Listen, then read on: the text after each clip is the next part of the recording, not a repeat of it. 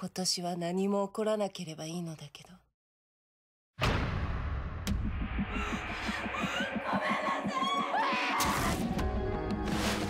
お社様のたたり。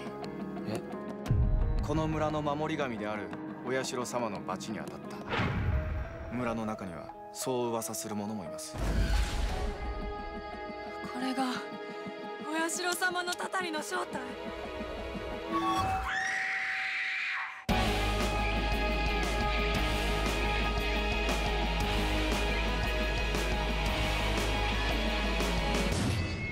俺は俺は一体？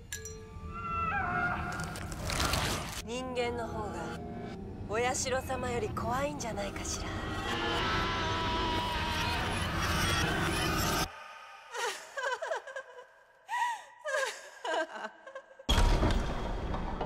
日暮らしの泣く頃に